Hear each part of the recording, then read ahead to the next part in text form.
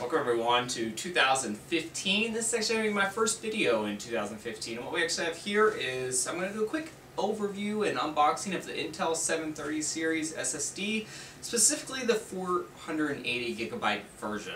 Now I recently did a video before this where I go through some SSD, kind of a buyer's guide. I wanted to do this mainly because I was shopping around for myself. I had an old Intel 510 series SSD that finally is starting to uh, show its age. Uh, I've had it for I think three or four years now. I bought it originally when it first came out about four years ago, so it's an extremely old SSD and the capacity is already maxed out. So I needed something a little better, so we got this. So that put me on a guide, basically a shopping guide for myself on shopping for SSDs. And there's so many options out there right now, and the price have dropped so much that I did a quick guide. Check that out. I'll put a link somewhere to it up here. This is going to be all about the Intel 730 series. And this is interesting in that this is only the second time Intel has actually basically done everything in this drive as Intel's. Uh, originally what they actually did is uh, Intel's known for their solid firmware and their reliability. Their firmware is probably one of the best out there. Samsung may be second, maybe SanDisk, maybe in that, in that mix too. But Intel is known for their reliability and their stability and their longevity. Most of their read and write speeds don't decrease over time, they actually stay pretty level. So that's why I was interested in this. Yes, this is a higher end SSD, but the price point, uh, you can get it on sale pretty, you can get under $250 for the 4 and 8 gigabyte pretty easily. It's based off the Intel 7 or S3500 series and 3700 series, which is more of their their uh, enterprise drives, their SSDs, are not really for a consumer, but it's based off that. It's kind of a smaller down version of that. Um, either the read and write speeds are a little different, uh, but generally it's about the same. So it's got the Intel firmware, it's got the Intel controller, which is the big thing there. So this is a big deal for a lot of reasons. It has a five-year warranty. And the main reason for that is, is that they think it's going to last that long. These drives will last much longer. I have an Intel 510 series, which I bought, I believe, four years ago.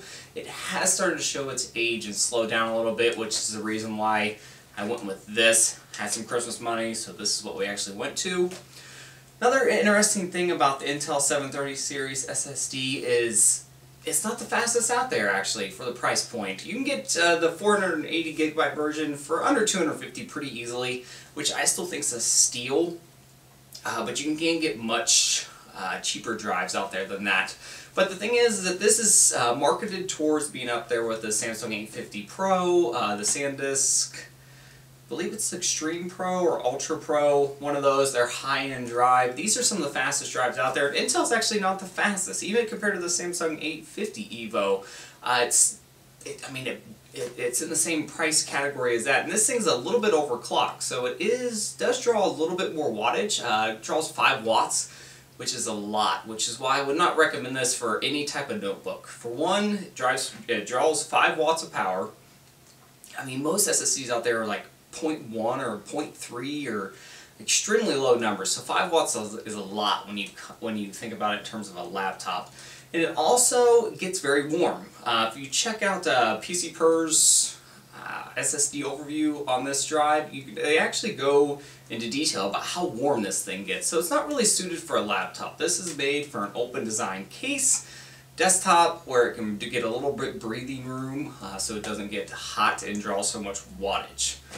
That being said, that's about it. Again, Intel, I still think this is one of the best drives out there, mainly because its read and write speeds are going to last a long longevity. You're not going to see dips um, in performance over time, let's say two years down the road. Uh, Intel is known for keeping their read and write speeds up pretty high on the scale over the two, three, four, five year period. That being said, let's actually jump in and see what's in the box, and we'll go from there. Alright, quick unboxing. We're going to see how fast we can get this. Uh, there's the outside of the box. Not a whole lot there. You can see the cool little skull there on the front. That actually goes back to an old CPU that used to have a Skulltrail. Is what it was. Not a whole lot there. Not a whole lot on the back. Doesn't have read and write speeds. Uh, 7 millimeters in height. Alright, finally got everything on the box. And let's get it open.